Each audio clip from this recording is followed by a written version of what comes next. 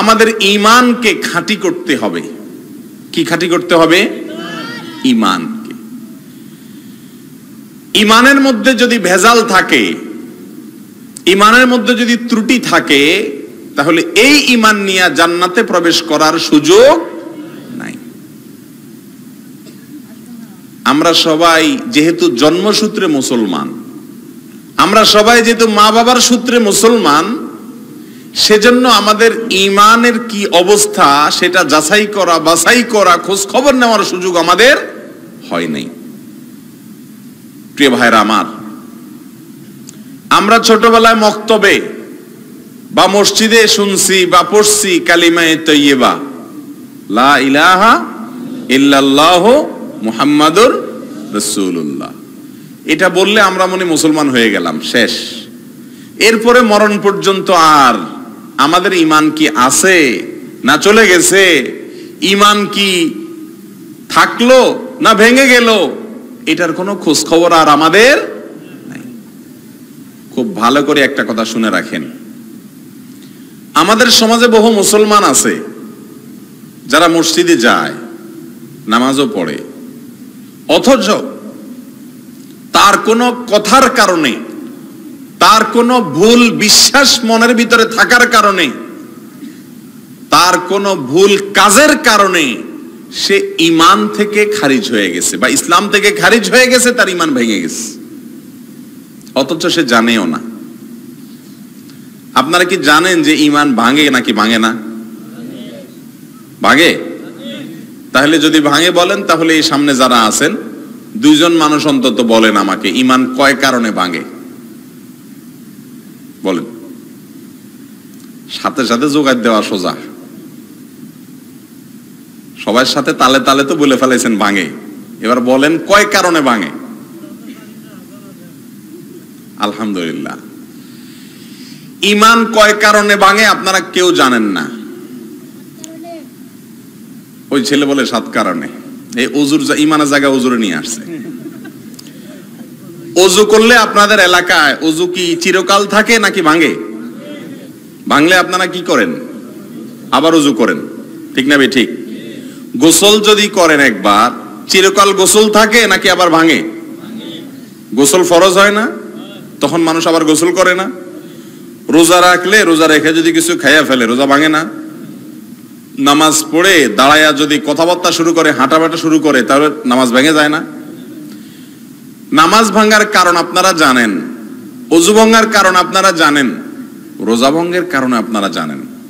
যার কারণে ভেঙে গেলে আবার জোড়া দেন, তাই না?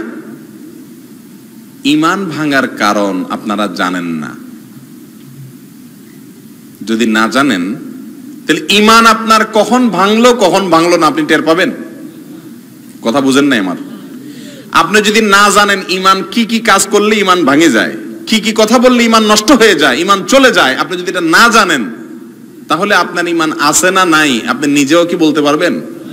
কোন কথায় কোন কাজে ইমান গেছে আপনার হয়তো খবরও নেই। ঠিক না বেঠিক?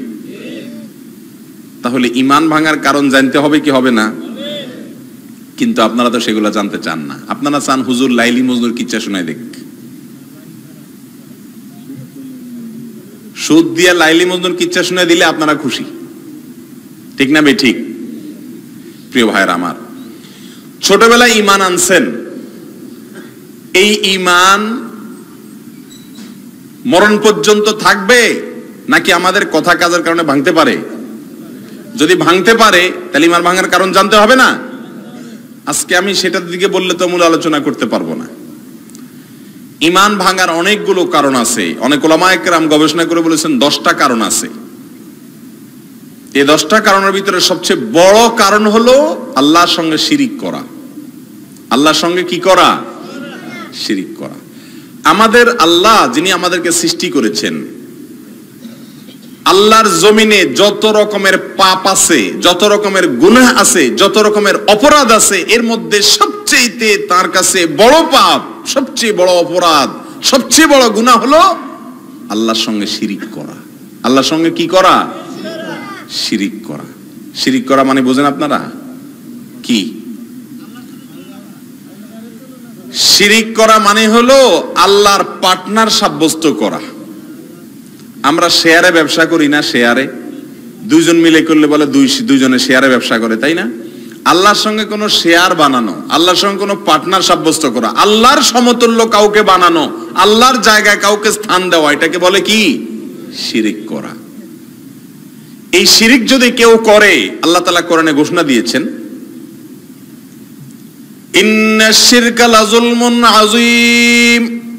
নিশ্চয় মহা অপরাধ।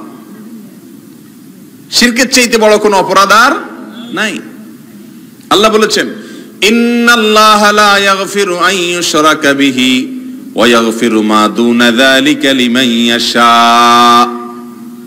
আল্লাহর সঙ্গে যদি কেউ শিরিক করে, এই অপরাধ আল্লাহ তালা কখনো মাফ করবেন না।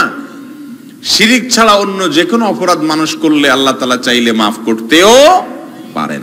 যদি দুনিয়া থেকে কেউ তওবা ছাড়া দুনিয়া থেকে চলে যায় আর সে শিরিক করত, তাহলে এ অবস্থা সে যত নামাজ কালাম পড়ুক, যত রোজা রাখুক, যত হজ করুক, যত ইবাদত বন্দেগী করুক, এগুলার কোনোটা কোনো কাজে আসবে না। সোজা জাহান নামে যাবে আর চিরকাল জাহান নামে থাকবে। প্রিয় ভাইরা আমার, একজন মুসলমানের কাছে সবচেয়ে বড় আতঙ্কের নাম হলো শিরিক। আজ করোনা ভাইরাসের ভয়ে করোনা ভাইরাসের ভয়ে সারা পৃথিবীর মানুষ যেরকম আতঙ্কিত, একজন মুসলমান এরকম আতঙ্কে থাকবে শিরিকের ভয়ে। কিসের ভয়ে?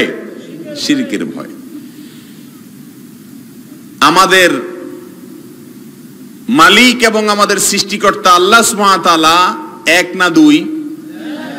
এক না একাধিক? এক। আল্লাহ কোরআনে বলেছেন, কুল হু আল্লাহু আহাদ। বলুন, আল্লাহ আল্লাহ সুবহানাহু যদি এক, একক হন, অদ্বিতীয় হন, তাহলে আমাদের রবকে আল্লাহ। আমরা কোরআনে কারিমের সূরা ফাতিহার প্রথম আয়াতটা সবাই জানি। প্রত্যেক সালাতে প্রতি রাকাতে আমরা পড়ি, আলহামদুলিল্লাহি রাব্বিল আলামিন। মানে প্রশংসা আল্লাহর, যিনি সকল জগৎ সমূহের তাহলে আমাদের সবার পালন কর্তা কে? আল্লাহ। এখন যদি আপনি মনে করেন, আপনার পালন কর্তা শুধু আল্লাহ না, আরও কেউ আছে। ইমান থাকবে?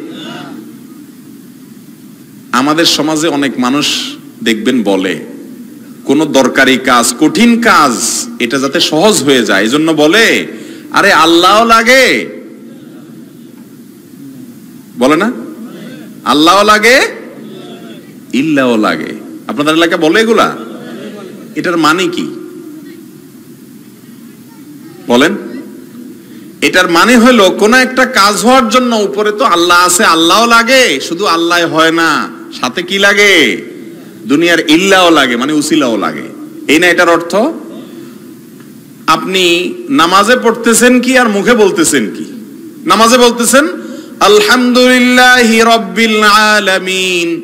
প্রশংসা করছি ওই আল্লাহর যিনি সমস্ত জগৎ সমূহের পালন কর্তা সকল জগৎ সমূহের পালন কর্তা কে? আল্লাহ। তো আল্লাহকে সব জগতের পালন কর্তা বলছেন তিনি লালন পালন করেন একমাত্র। আবার মুখে বলতেছেন আল্লাহ লাগে, আল্লাহ একলা লালন পালনকারী না। আমার লালন পালন করতে হলে, আমার কাজ হইতে হলে আল্লাহ লাগে ইল্লাহ লাগে। এটা কি মুসলমানের কথা? কিন্তু আমরা বলি না এগুলো অহরহ? কথা কি বুঝতেছেন আপনারা? এই কথাগুলো আমাদের ইমানের জন্য ক্ষতিকর। এই কথাগুলো আমাদের ইমানের জন্য কি? মুসলমান বলবে, আল্লাহই আমার জন্য যথেষ্ট। হাসবি আল্লাহ। মুসলমান কি বলবে? হাসবি আল্লাহ। এরাবিয়ানরা বিশেষ করে সৌদি আরবের নাগরিকেরা, কথায় কথায় বলে, হাসবি আল্লাহ। মানে আল্লাহ আমার জন্য যথেষ্ট। আর কেউ না হলেও কোনো অসুবিধা যদি আল্লাহ যদি কারোর সাহায্য করতে চান, পৃথিবীর সমস্ত মানুষ যদি তার ক্ষতি করতে চান, ক্ষতি করতে পারবে? আল্লাহ যদি কারোর ক্ষতি ফয়সালা লিখে রাখেন তার নসিবে। আর পৃথিবীর সমস্ত মানুষ তাকে ক্ষতি থেকে বাঁচাইতে চায়। বাঁচতে পারবে? তাহলে মুসলমান যদি বলে আল্লাহ লাগে ইল্লাহ লাগে। মানে শুধু আল্লাহ পারে না, সাথে ইল্লাহ লাগে। এই কথা কি মুসলমানের বিশ্বাসের সাথে মিলে? কথা বলেন না। তাহলে এইসব কথা বলা যাবে? বলা যাবে না। বলতে হবে, হাসবি আল্লাহ আমাল ওয়াকিল। হাসবুন আল্লাহ আল্লাহ আমাদের জন্য যথেষ্ট। যখন কোন যুদ্ধে সাহাবিরা ভয়ে তটস্থ, কাফের বাহিনী অনেক অস্ত্র শস্ত্রে সজ্জিত, নিজেদের কাছে কিছু নাই, তাদের মনটা ছোট, তখন তারা বলে উঠলেন হাসবুন আল্লাহ আল্লাহ আমাদের জন্য যথেষ্ট। তারা আমাদের মতো বলেন নাই আল্লাহ লাগে ইল্লাহ লাগে। বাঁচবো কেমনে? আল্লাহ তো আছে, বুঝলাম। সাথে আমাদের কি লাগবে? এটা কি মুসলমানের কথা? আমাদের সৃষ্টিকর্তা কে? আমাদের পালনকর্তা কে? আল্লাহর সঙ্গে আর কেউ আমাদেরকে লালন পালন করে? শুধুমাত্র একমাত্র লালন পালন করেন কে? আল্লাহ। এর নাম তৌহিদ। এর নাম কি? একত্ববাদে বিশ্বাস করা। আমাদের পালনকারী কয়জন? কয় সত্তা? এক সত্তা। এক। দুইয়ে পালে না, তিনে পালে না, একাধিকে পালে না। পালে কত একে। তিনি কে? আল্লাহ। অনেক সময় কোন গুরুত্বপূর্ণ কাজ নিয়ে কোন নেতার কাছে গেলে মানুষ বলে, নেতারে খুশি করার জন্য, পাম দেওয়ার জন্য বলে আর কি। বলে নেতা সাপ আগে আল্লাহ, পিছে আপনি। বলে কি বলে না? আপনাদের এলাকায় বলে না এগুলা? আগে আল্লাহ পিছে আপনি। মানে আল্লাহ দিয়ে তো শুধু হবে না, আগে আল্লাহ আছে, আপনি কি আছেন? পিছে আছেন দুজন মিলে আমার কাজটা হবে। এই না এটার অর্থ? এই অর্থ কি কোনো মুসলমানের ইমানের সাথে যায়? অথচ এসব কথা আমরা বলি না। ইমান, এসব কথার সাথে ডাইরেক্ট সরাসরি মানুষ মুশরিক হয়ে যাবে না, ভয়ের কারণ নাই ডাইরেক্ট কিন্তু এগুলা শিরকে আসগার। ছোট ছোট শির্ক, বলার ভুল। যেটা বিশ্বাসের সাথে বিপরীত হয়, এগুলো করতে করতে করতে আস্তে আস্তে মানুষ বড় শিরকের দিকে চলে যায় ইমান হারা হয়ে যায়। অতএব সাবধান হওয়া লাগবে কি লাগবে না? অনেক সময় বলে যে, আগে আল্লাহ, পাশে তুমি, পিছে তুমি, আগে আল্লাহ, পরে তুমি। অর্থাৎ আল্লাহও লাগবে, তোমাকেও লাগবে। মুসলমান সেটা বলবে না। মুসলমান বলবে, বিপদে পড়লে আল্লাহ আমার জন্য যথেষ্ট। আমি দুনিয়ার বিভিন্ন উপায় মাধ্যম বাঁচার জন্য খুঁজবো ঠিক আছে কিন্তু আমার বিশ্বাস থাকবে একমাত্র আমার সমস্যার সমাধান করার মূল ক্ষমতা কার হাতে? আল্লাহর হাতে। তিনি আর কারোর হাতে সেটা ন্যস্ত করেন নাই। এসব কথার কারণে আমাদের ইমান অনেক সময় হারায় যাওয়ার ভয় থাকে আশঙ্কা থাকে। আল্লাহ তালা আমাদের ইমানগুলোকে হেফাজত করার তৌফিক দান করুন। প্রিয় ভাইরা আমার আমাদের সমাজে এরকম কথার ভুল যেরকম আছে, কাজেরও ভুল আছে। যেমন, কেউ যদি মনে করে যে আমার যখন কোনো বিপদ আপদ হয়েছে এই বিপদ আপদ থেকে বাঁচানোর জন্য আমি কোনো পীর সাহেবের কাছে গেলাম, জীবিত বা মৃত, উনি আমার বিপদ থেকে উদ্ধার করে দিবে। তাহলে আমার বিপদ থেকে উদ্ধার করার একমাত্র মালিক শুধু আল্লাহ। এটা হইল আর থাকল? আল্লাহর সঙ্গে একটু শেয়ার হয়ে গেল না? কথা বুঝেন নাই? আল্লাহর সঙ্গে একটু শেয়ার হয়ে গেল না? এটা কি ইমানের সঙ্গে যাবে? যাবে না। খেতে খামারে ফসল না হলে অনেক সময় বলে যে, অমুকের থেকে পানি পড়া নিয়ে আসো। পানি পড়া ছিটায় দাও, অথবা তাবিজ লটকায় দাও, তাহলে কি হবে? খেতে খামারে ফসল হবে। আবার ফসল হলে ওখান থেকে ভাগ দিয়ে আসে পিসাবরে, বলে এটা পীরের হক, পীরের ভাগ। কেন? কারণ ওনার দোয়ায়, ওনার পানি পড়ায়, ওনার তাবিজে কি হয়েছে ফসল হয়েছে মুসলমান এগুলো বিশ্বাস করবে? দেওয়ার মালিককে আল্লাহ। আমরা কোরআনে কারিমের একটা আয়াত প্রত্যেক নামাজে, প্রতি রাখাতে পড়ি। ইয়াকা নাবুদু ওয়া ইয়াকা নাস্তাঈন। আল্লাহ শুধু তোমারই এবাদত করি। এবাদত করি শুধু কার? ইয়াকা নাবুদু, যার অর্থ হলো আল্লাহ শুধু তোমারই এবাদত করি এবাদত আর কারোর করি না। ওয়া ইয়াকা নাস্তাঈন, আর সাহায্য শুধু তোমারই চাই। সাহায্য কার কাছে চাই? শুধু আল্লাহর কাছে। আর কার কাছে সাহায্য চাই না। এটা হলো মুখে আমরা বলতেছি। কাজে কি করি? যদি, ওই যে ইল্লার কাছে দৌড়াই। কাজে হলো ইল্লার কাছে দৌড়াই। আপনারা বলতে পারেন, তাহলে কি আপনি বলতেছেন, হাত পা ভাঙে বসে থাকব? না। আপনি উপায় উপার্জনের জন্য দৌড়ান, কিন্তু আপনার বিশ্বাস থাকবে শুধুমাত্র করার ক্ষমতা একমাত্র কার হাতে? আল্লাহর হাতে, আর কারোর হাতে নাই। আমাদের দেশে অনেকের ব্যবসা বাণিজ্যের উন্নতি না হলে অনেক মাজারে চলে যায়। আছে না নেই? মাজারে যায়া দান খয়রাত করে মাজারে যায়া দোয়া করে, করলে ব্যবসার উন্নতি হবে। এরকম বিশ্বাস আছে না নাই? আবার বলে, খাজারে তোর দরবার হতে কেউ ফিরে না, খালি হাতে। তার মানে খাজা কিছু না কিছু দেয় মানুষকে। খাজার দেওয়ার ক্ষমতা আছে? খাজাকে আমাদের আল্লাহ? তাহলে আমাদের দেওয়ার মাতলিক একমাত্র কে? তাহলে যদি বলি, খাজারে তোর দরবার হতে কেউ ফিরে না, খালি হাতে, তার মানে খাজার দরবার থেকে কিছু কিছু পাওয়া যায়। তাহলে এটা আল্লাহর সঙ্গে শিরিক হলো না? আর শিরিক করলে ইমান থাকে? অনেক ভাই বোনেরা আমাদের না বুঝে সন্তান হয় না ওই খাজার দরবারে চলে যায়। সন্তান দেওয়ার মালিক কে? আল্লাহ কোরআন স্পষ্ট বলেছেন ইয়াহাবুলি মাইয়াশাউ ইনাসা ওয়া ইয়াহাবুলি মাইয়াশাউ যুকুরা। আল্লাহ যাকে ইচ্ছা তাকে মেয়ে সন্তান দেন, যাকে ইচ্ছা তাকে ছেলে সন্তান দেন। আবার কাউকে ছেলে মেয়ে দুইটাই দেন না, আবার কাউকে কিছুই দেন না। এটার মালিক কে? আল্লাহ। এখন আপনার শুধু ছেলে হয়, মেয়ে হয় না। মেয়ে হয়, ছেলে হয় না, অথবা কিছুই হয় না। আপনি চলে যাচ্ছেন কোথায়? মাজারে। ওই মাজারওয়ালার দেওয়ার ক্ষমতা আছে? যদি মাজারওয়ালার কাছে চান, তাহলে এটা আল্লাহর সঙ্গে শিরিক করা হয়ে গেল। আল্লাহর কাছেও চান, মাজারওয়ালার কাছেও চান। শিরিক হলো না?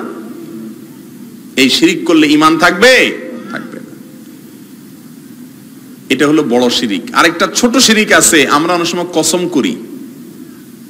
আল্লাহর কসমের পাশাপাশি আরও বিভিন্ন জিনিসের নামে কসম করি না আমরা? যেমন? তোমার কসম। জামাই বউরে বলে, তোমার কসম। ছেলে মাকে বলে, মায়ের কসম, বাপের কসম। ছেলের মাথায় শুয়া বলে, এর মাথা শুয়া কইলাম, মাটি শুয়া কইলাম, গাড়ির ড্রাইভারে হুইল শুয়া কয়, হুইল শুয়া কইলাম। আছে না নাই? দোকানদারে ক্যাশ শুয়া কয়, ক্যাশ শুয়া কইলাম। আছে না নাই? আরও কত কিছু শুয়ে আল্লাহ জানে। কসম হবে কার নামে?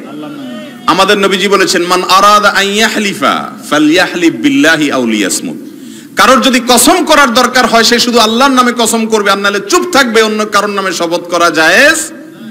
অন্য কারোর নামে শপথ করলে সেটা ছোট শিরক হবে। আল্লাহ আমাদেরকে বাঁচার তৌফিক দান করুন। প্রিয় ভাইরা আমার অনুরূপ ভাবে আমাদের কাজের মাধ্যমে আমরা যে শিরিক করি, তার ভিতরে একটা হলো আমাদের অনেক ভাই বোনদেরকে দেখবেন অনেক মাজারে গিয়ে সেজদা করে। আছে না নাই? অনেক মাজারে সেজদা করার লোক আছে না এখনও? সেজদা এটা কি এবাদত নাকি এবাদত না? কথা বলেন, সেজদা করা এটা কি এবাদত নাকি এবাদত না? এবাদত। এবাদত শুধু কার জন্য হবে? আল্লাহর জন্য। আমাদের সৃষ্টি করছে কে? আল্লাহ সাথে কি ওই পিসাব মিলে সৃষ্টি করছে? তাহলে পিসাবের সেজদা করা জায়েজ হবে?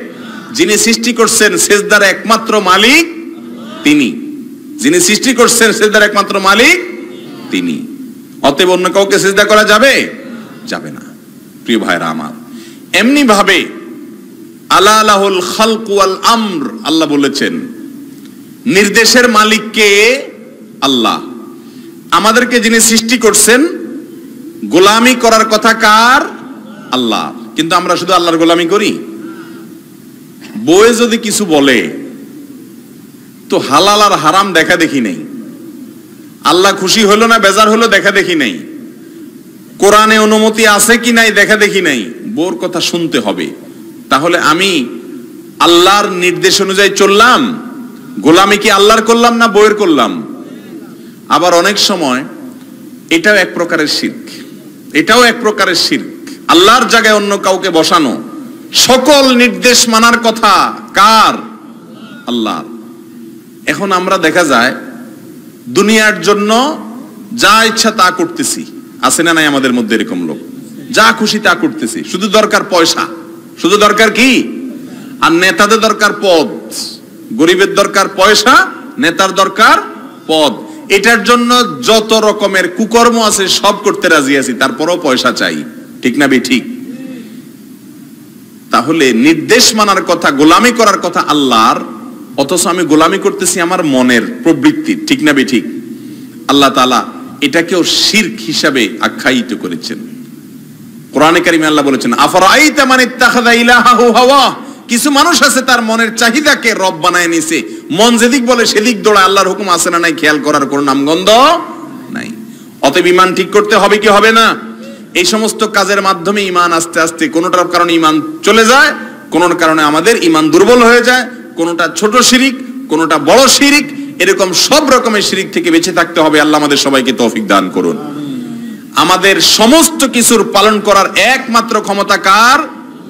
কোনো কিছুর দরকার হলে চাইব কার কাছে? নাকি মাজারে যাই দোয়া করব?